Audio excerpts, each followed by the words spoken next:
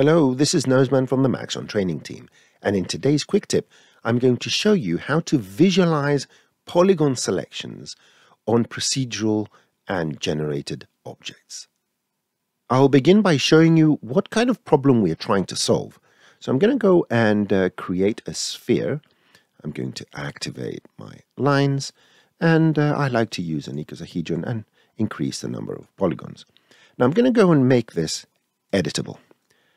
I can go using the polygon selection and the selection tool, and I can select polygons, and we get a feedback on what is selected. Fantastic.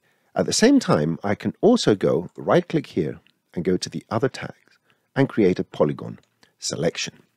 Now this polygon selection can store manually selected polygons, but it can also use the transfer mode. Let's get rid of the freeze and let's go and add a random field. I'll make it a bit bigger.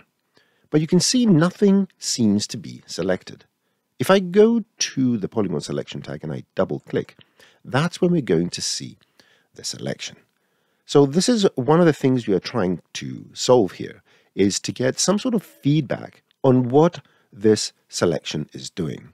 And we can't do this unless we use a little trick. Now I'm going to simplify the problem a bit by not even using an editable sphere. Let me just delete everything. I'll create my sphere from scratch, set it to icosahedron, increase the number of segments, and then I'm going to go here directly on this primitive object, and I'm going to add my polygon selection tag. I'm going to go and add my random field, make it a bit bigger, and I'm actually going to add a bit of animation. In the case of the primitive, I can't actually even double click to see that selection, even if I'm in polygon mode. So this is the only way you can preview this selection. So let's go. I'm going to go and create a standard Cinema 4D material. Not a Redshift one, just a Cinema 4D material.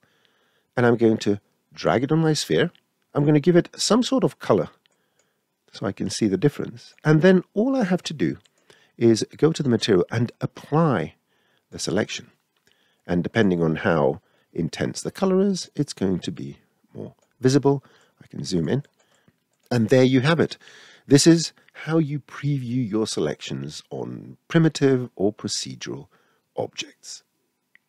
If you enjoy our quick tips, please like, comment, subscribe, and enable notifications so you never miss another quick tip.